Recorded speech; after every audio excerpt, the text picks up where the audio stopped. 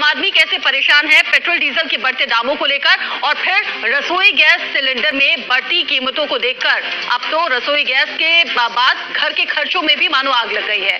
फरवरी में ये तीसरा मौका है जब लगातार एलपीजी के दाम बढ़े हैं। 21 दिन में सौ रुपए के इजाफे के साथ एलपीजी सिलेंडर अब आठ सौ रुपए को क्रॉस कर चुका है। लेकिन देश की वित्त मंत्री कह रही हैं, उन्हें नहीं पता कि महँगाई के धर्म संकट से देश कैसे बाहर निकलेगा। एलपीजी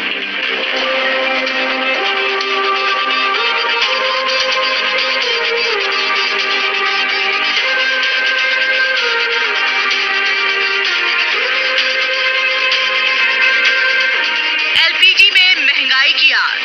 21 दिन में 100 रुपए का इजाफा। फ़िक्र कीजिए। विकास के लिए दाम बढ़ाने की रफ्तार तो ऐसे ही रखनी पड़ेगी। गैस के दाम फरवरी के महीने में सिर्फ़ तीसरी बार ही तो बढ़े।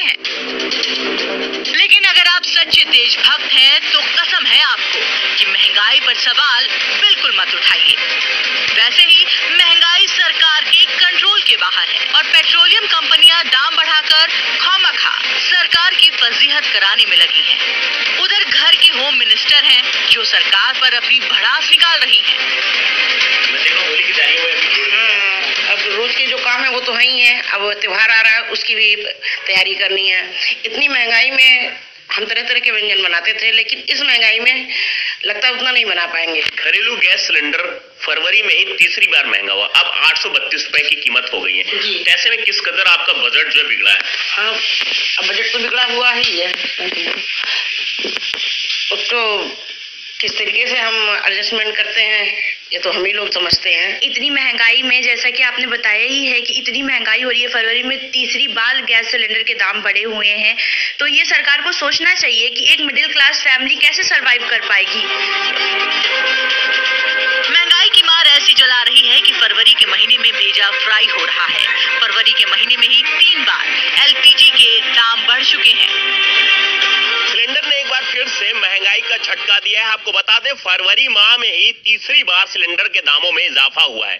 अब सिलेंडरों की कीमत राजधानी लखनऊ में आठ सौ के आसपास आ गई है।